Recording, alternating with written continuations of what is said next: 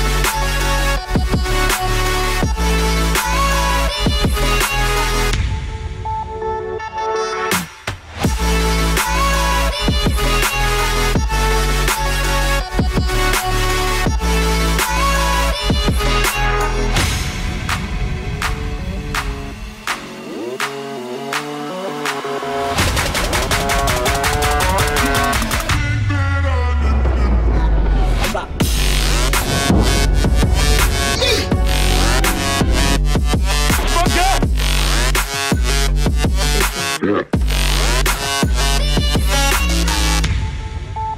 sure about that? Yeah.